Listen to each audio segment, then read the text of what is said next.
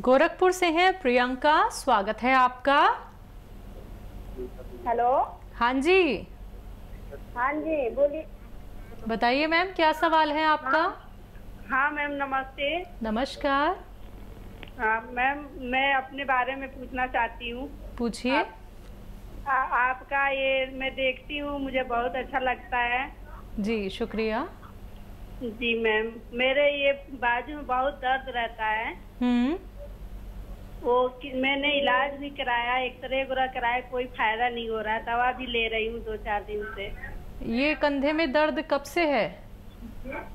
एक महीने हो गए मैम। आपकी उम्र कितनी है? Forty five year. ठीक है। ठीक है आप देखिए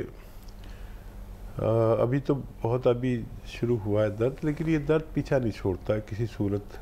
दर्द की दवाएँ भी आदमी कितनी खाएगा।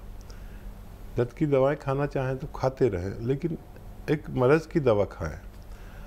मरज़ की दवा एक रॉ मटेरियल मैं अक्सर बताता हूँ, जिसमें बेशतर लोगों को फ़ायदा होता है।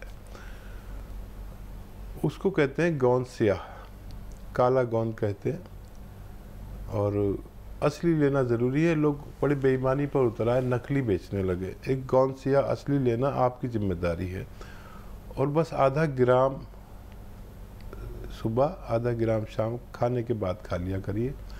अगर ये असली मिल गया तो आपको रोग मुक्त होना मुमकिन है।